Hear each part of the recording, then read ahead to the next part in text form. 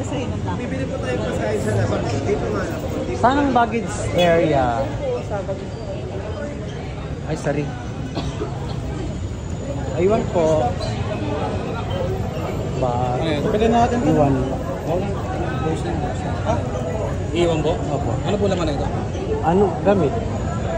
Walang, walang, wala, Wala, kinuha ko ng cellphone. Walang mawawala dyan, kuya. Thank you.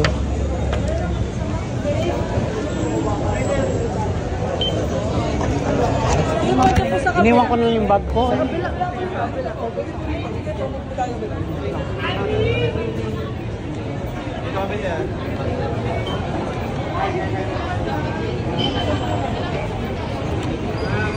Pwede nga sa kabila, hindi naman ito magalaw. Mas gano'n na yung para sa kanila. Kaya wala yung